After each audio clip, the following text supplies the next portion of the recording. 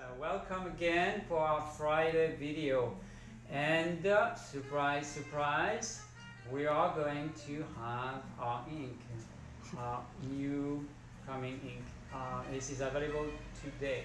So it says that uh, uh, everyone brings home a little bit of uh, their work. Baker will bring a little bit of flour. I will bring a little bit of ink on my finger. Well, not only actually, uh, the truth is, uh, you know, I have the lab at home, I have a studio, and uh, we do the large mixing there at our studio. We have all the bottles, all the inks, all the dyes, but we do a lot of things here. All the small volume will be done in uh, New Orleans, here in the French Quarter. So all you do need is a few baker beakers and a few of these little pads, uh, brushes, or two pens, and diverse little uh, uh, writing instruments, and you need a pad. And of course, starts like this. I mean, I roughly give you an idea. Basically, uh, I start with the, basics, my basic colors are on top, and I have a Pantone color that could be helpful to use. And then I go down and I go down by putting more and more of another dye and so on and so on. So that's the way it goes until I really like it. Then I can fork off and then do another column and this is okay. I, I am good on the volume of that base plus the number two and number two dies and then I go on to the third and, and so on. Uh, it, it's a really a rough ideas. Um, I want you know, I do it and I use brushes mostly to do the work. Um, this is the basic. I, I, have to have a basic with brushing. Um, and then afterwards, when I'm really close, I can, uh, you know, write with um, mostly glass pen, but I would take, of course, a fountain pen. So this is my little workbook, and I can relate to this all the time. I have about three or four of these all filled up. I use Rhodia, so at least I have uh, the consistency of having all the same dye to be on the same paper. Now, I also try other papers to see how they look. This is what we are going for today. What is it going to be? Well, some of you probably know already we have iron lace. All right, the idea, well, black was too black, and our gray might have been too gray. So we are trying to create an in-between, something that will not be too pale for the extra fine, fine nerves, let's say, and uh, something that will darken up, but not black, with a, a little twist of character.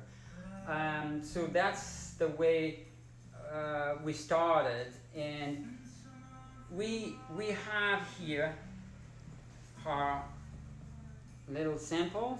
Can you see that? So I swapped it here, and we're gonna show you how it's gonna look with others. All right? The you know streetcar green, is that too low shall I bring it up? Perfect. Okay, streetcar green, this is it. So we have Bayou Nightfall right there. Van Kipling Bayou Nightfall that you know. You see how we our tendency to be a little bit in the green, very dark right there.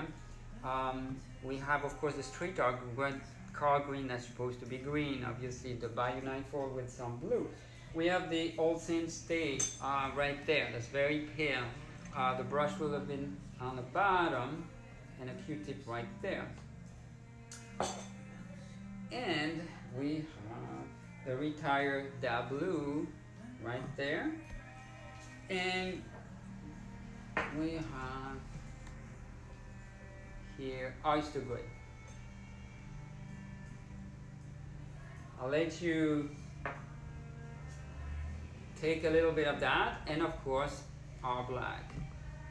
You're gonna say, well, it's, it's very close. Well, no, black, eye black will have a little bit of sheen. It's really a lot of ink on the paper um, and it doesn't show so much sheen obviously because it's a mix uh, with a partly uh, black in there and we are going to show you actually what it did uh, with chromatography.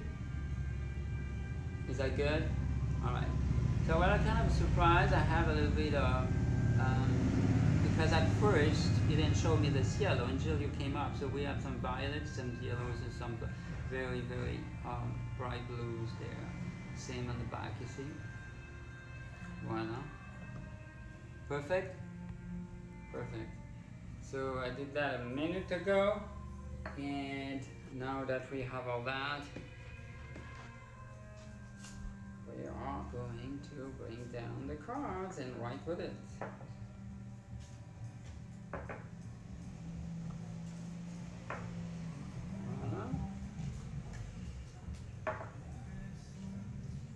And I had to redo some of the cards because a lot of our customers are using them and flip them around.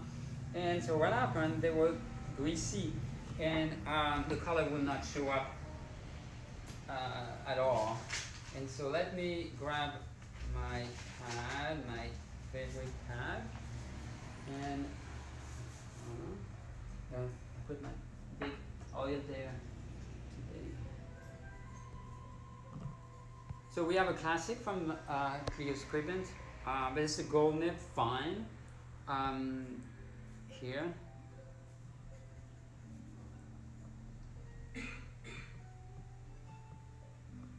Yeah, definitely. Um, I kind of like it.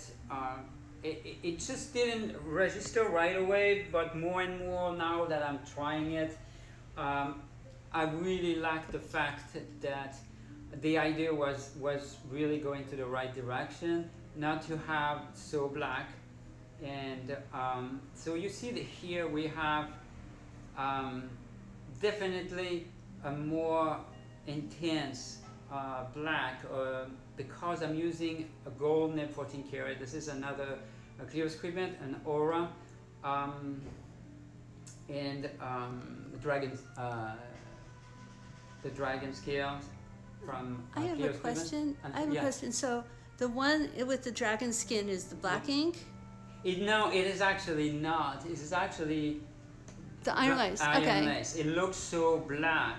Um, definitely because these nibs are gushy. So you're probably Mm. gonna be less inclined to see the difference uh, between our black, let's say, uh, and uh, iron lace. But you, we are totally uh, seeing it with a smaller nib, um, definitely. And I should probably have a black uh, to show you the difference, but it's never easy on a camera than on a real life. Huh? Um, I did press a lot, and if I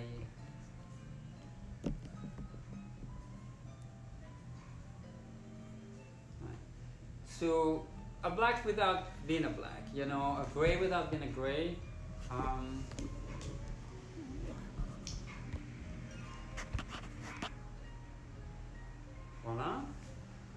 You know, um, Patrick, if uh, people are going to be using these in a lot of different lights, different lights, yeah. so I'm just going to go and turn off our warm lights Okay. so you can see what it looks like, but you can still play around on Okay. that.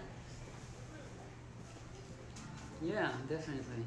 So I can take my brush again and see what happened with my little.